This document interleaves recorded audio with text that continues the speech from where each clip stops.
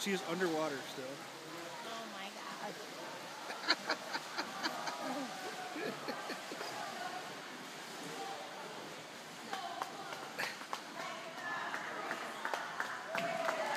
god.